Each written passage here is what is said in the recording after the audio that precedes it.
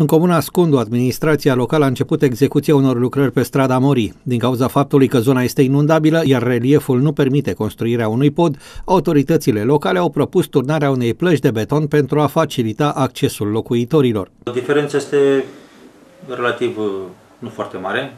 Față de anul trecut e o diferență de 800 de milioane lei vechi. Domnul Costi Radulescu a avut bunăvoința să ne mai dea ceva în plus, din puținul pe care îl are și dumnealui. Nici am văzut bugetul a fost echilibrat pentru toate localitățile. Domnul Costi nu face diferențe din cum, cum se vede. Încercăm să ne descurcăm, e împărțit pe trimestre.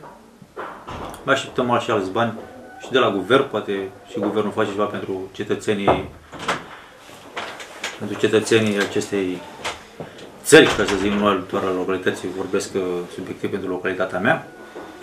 Așteptăm, așteptăm. Am înțeles că va mai fi ceva în uh, aprilie și în iunie o altă rectificare. Noi sperăm că vor fi mai mulți bani, pentru că avem nevoie de bani.